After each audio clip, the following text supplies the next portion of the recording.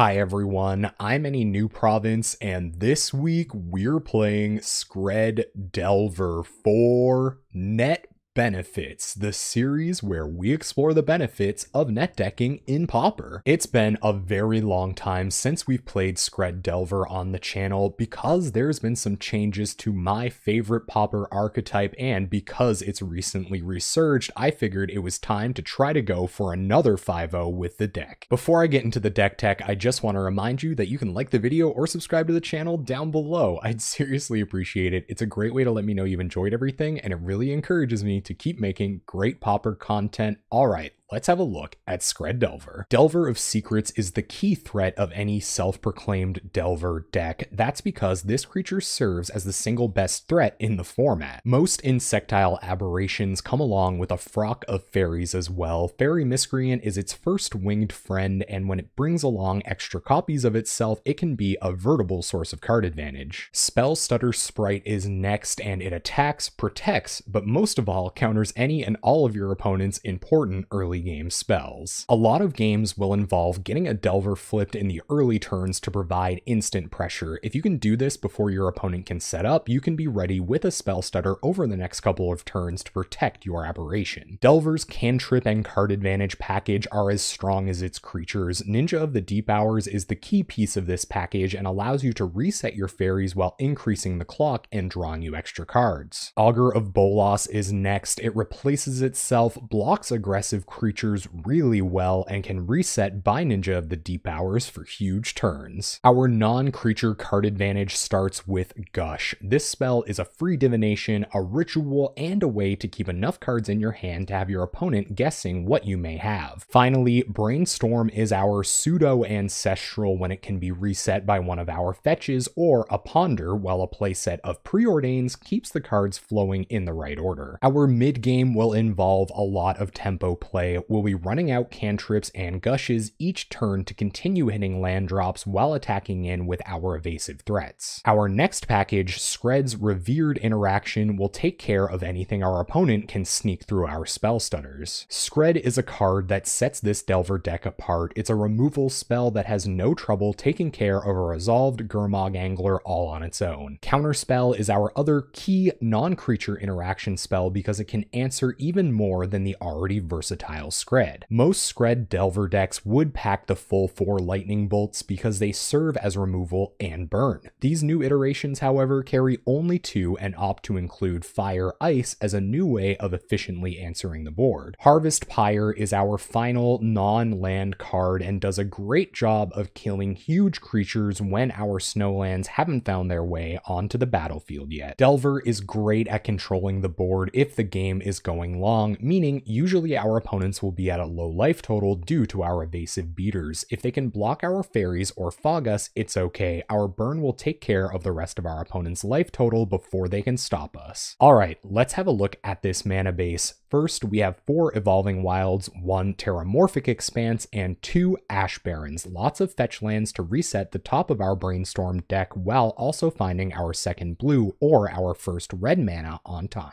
For basics, we have just two snow-covered mountains and nine snow-covered islands. We want way more untapped blue mana for our Delvers and cantrips, and we've got enough fetches to find those mountains when it's time. Alright, let's have a look at this powerful Izzet side sideboard. First, we have one copy of Dispel as a more efficient counterspell when we need it. We have two copies of Electrickery as Wraths against X1s. We have three copies of Hydroblast for stopping all of those red spells. We have four copies of Pyroblast for stopping all of those blue spells. We have one copy of Echoing Truth for sweeping up a bunch of elf tokens, two copies of Stormbound Geist for things that can block Delvers but also prove great threats and control matchups. We also have two swirling sandstorms for sweeping the board if it gets too big and too wide. And there you have it, the new version of Skred Delver that took BeReborn to a top 8 finish in the Pauper Challenge last weekend. We're going to take this deck into a league at twitch.tv slash any new province this Wednesday night at 7 p.m. Atlantic time. We're there every Wednesday night playing competitive